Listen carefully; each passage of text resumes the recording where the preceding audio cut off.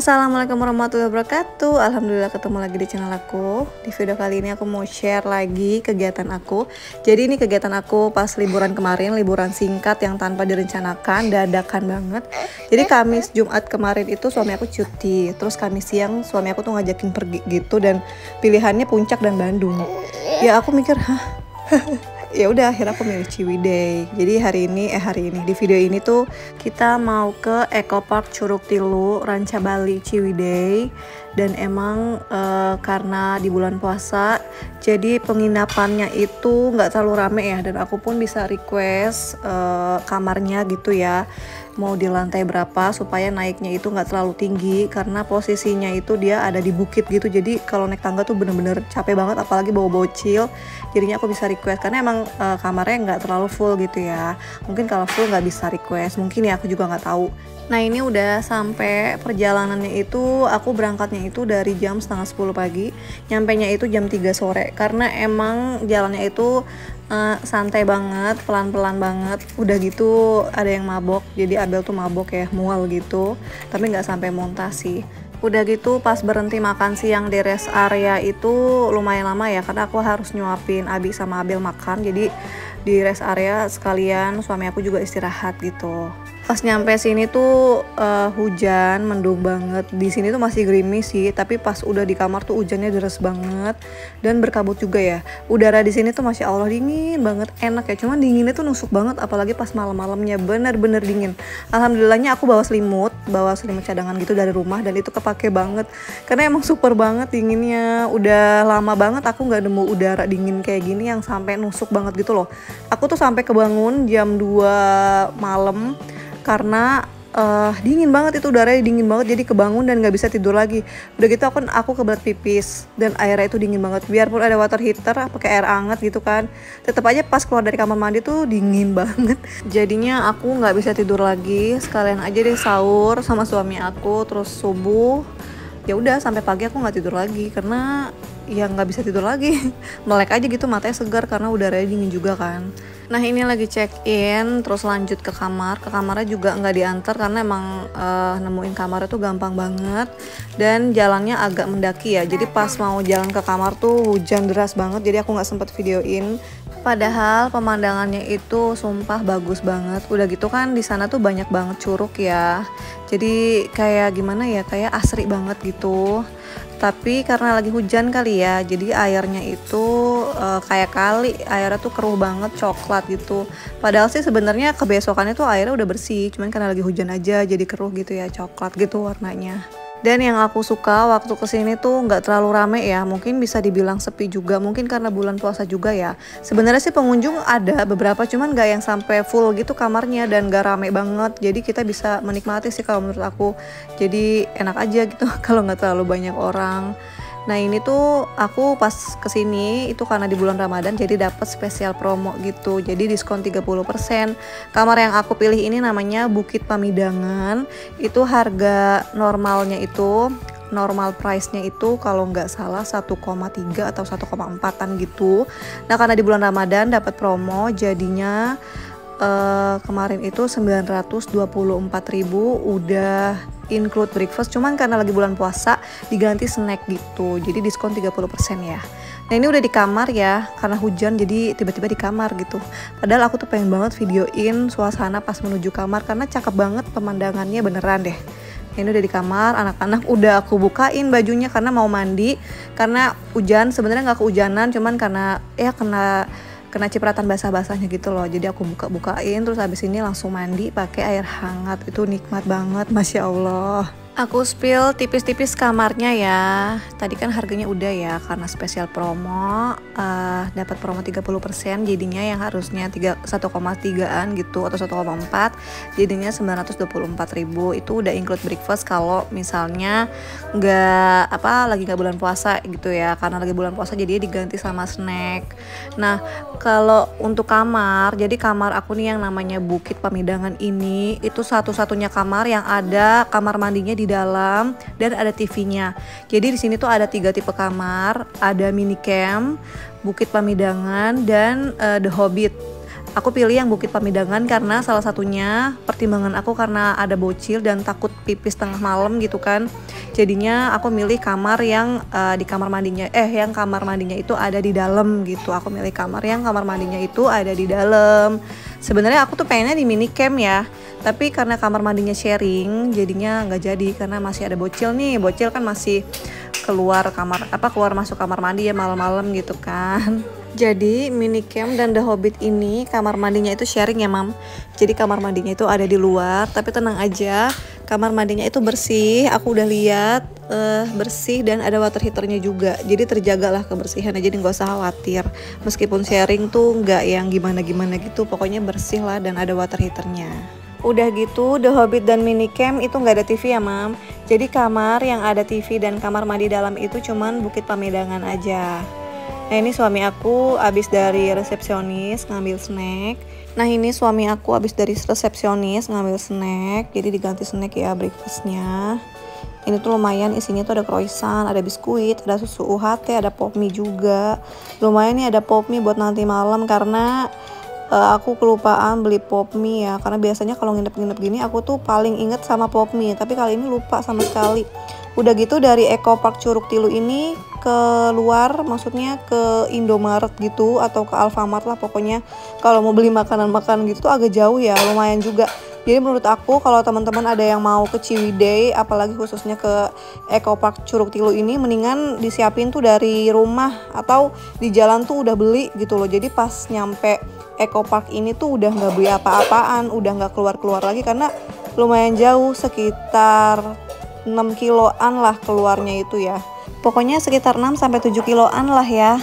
Udah gitu aku kan nggak tahu situasi di sini ya, nggak tahu Indomaret tuh di mana atau Alfamart, pokoknya nggak ada pikiran apa-apa lah. Tahu kayak gini kan tahu jauh gini kan aku nyiapin gitu kan. Aku juga dadakan sih perginya. Tapi kan aku kan sempet ke, ke rest area lama gitu kan. Di sana tuh ada Indomaret tau gitu kan aku belanja ju belanja dulu di situ siapin semuanya jajanan cemilan-cemilan anak-anak pop mie kayak gitu tuh mending aku beli di situ di rest area gitu. Soalnya pas nyampe sini tuh bener-bener kayak aduh jauh banget ya. Ya udah akhirnya ya mau nggak mau aku tetap keluar sih. Makanya aku tahu pas uh, ke Indomaret itu jauh banget itu karena aku sempat ke sana juga. Jadi abis makan malam abis buka puasa aku langsung ke Indomaret nyari-nyari Indomaret atau Alfamart lah sejenis itu karena mau nyari cemilan cemilan dan uh, tambahan pop mie untuk suami aku sahur ya. Ini aku sama anak-anak udah seger, udah mandi ya, udah bersih-bersih, tinggal menikmati pemandangan aja. Kebetulan uh, hujan di luar juga udah reda, jadi udara tuh sejuk banget, adem gitu ya. Udah lama banget aku nggak menikmati pemandangan dan udara seperti ini. Karena terakhir di puncak tuh nggak apa ya nggak sedingin ini nggak sesejuk ini gitu. Di sini tuh emang bener-bener udaranya masih apa ya masih seger banget deh masih sejuk banget. Jadi aku sama pas suami nanti buka puasa di sekitar penginapan aja e, karena kalau keluar gitu nggak tahu kita mau makan di mana karena nggak kelihatan juga restoran di, di sekitar sini tuh di mana gitu. Kayaknya sih jauh juga ya. Jadi ya udahlah yang pasti-pasti aja. E, karena kan di sini tuh ada maksudnya di Eco Park tuh ada restorannya kan. Jadi ya udahlah di sini aja. Udah gitu menu-menunya juga um, apa ya enak-enak dan harganya juga nggak begitu mahal. Pokoknya standar lah apa standar restoran-restoran yang harganya itu range harganya itu 30 ribuan sampai 50 ribuan aja kayak gitu.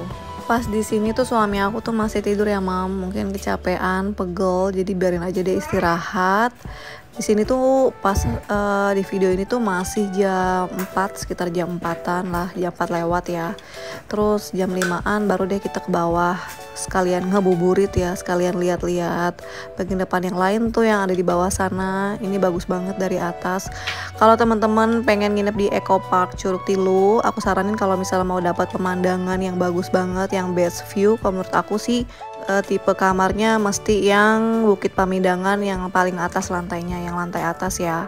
Kalau aku ini di lantai dua, tadinya tuh pengen di lantai satu, di lantai satunya itu cuma ada dua kamar kalau nggak salah. Tapi kayak kalau di lantai satu kayak masih agak nggak kelihatan ya. Jadi aku pengen di tengah-tengah aja. Jadilah aku request sama adminnya itu, aku minta di lantai dua. Tadinya mau ditaruh di lantai satu karena aku bilang um, jangan terlalu atas gitu ya. Karena kan bawa anak kecil. Cuman aku bilang di lantai dua aja deh mas gitu. Eh kok masih kak maksudnya. Jadi aku minta ke adminnya uh, untuk di lantai dua. Nah ini lantai tiga ya jadi masih naik lagi tuh kan. Anak tangga itu banyak banget di lantai tiga. Cuman uh, pasti pemandangannya lebih bagus lah cuman di lantai dua juga udah bagus banget kayak gini kok. Udah kelihatan banget ya yang di bawah tuh kalau untuk tipe mini camp memang dia lokasinya di bawah itu ya mam. Jadi mungkin kalau mau lihat pemandangan dari atas harus ke restoran yang di atas itu. Karena ya nggak nggak bakal kelihatan juga gitu kan. Jadi kalau misalnya kita nginep di mini camp terus mau menikmati pemandangan kayaknya harus ke restoran tuh yang ada di atas itu ya karena dia lokasinya di bawah kayak gini. Cuman emang kalau di minicamp ini dia itu viewnya itu kayak air sungai gitu loh. Kalau nggak salah kalau misalnya lagi nggak hujan ya bisa sih mainan uh, di sungai-sungai ini.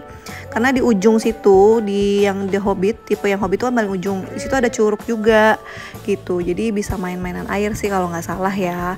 Cuman karena ini lagi hujan jadi airnya tuh kelihatan keruh banget kayak gitu kayak air kali ya jadi coklat gitu. Cuman biasanya tuh airnya bersih kok.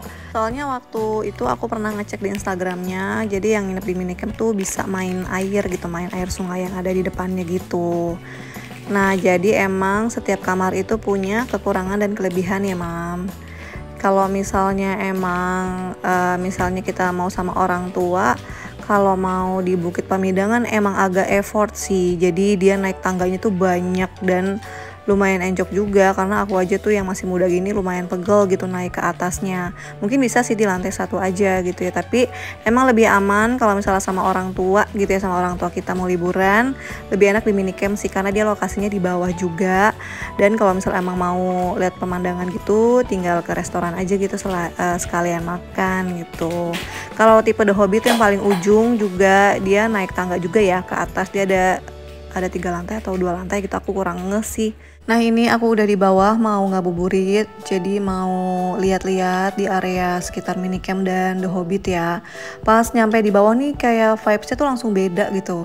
Dari tadi kan aku di atas terus ya pas di bawah tuh kayak ya ampun cakep tetap cakep gitu pemandangannya tetap bagus karena um, kiri kanan tuh hijau gitu jadi kayak di tengah-tengah lembah gitu loh pertama kali tahu Eco Park Curug Tilu ini tuh yang waktu itu lagi hits itu mini campnya ya mam. Jadi yang aku tahu tuh cuma mini campnya tapi ternyata pas aku lihat-lihat lagi ada tipe lain.